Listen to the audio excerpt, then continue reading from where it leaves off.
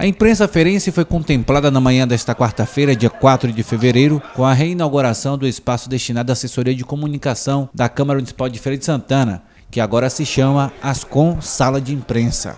Um local confortável, climatizado e equipado com máquinas e internet de alta velocidade, para que os profissionais da comunicação possam trabalhar com maior conforto e eficiência. O evento contou com a presença de vereadores, imprensa, chefes de setores da casa, a exemplo da Camila Medeiros, diretora da Assessoria de Comunicação da Câmara, e também do atual secretário municipal de Comunicação, o jornalista Valdomiro Silva. A iniciativa do presidente da casa, vereador Reinaldo Miranda, Rony, do PSDB, foi elogiada pelos presentes.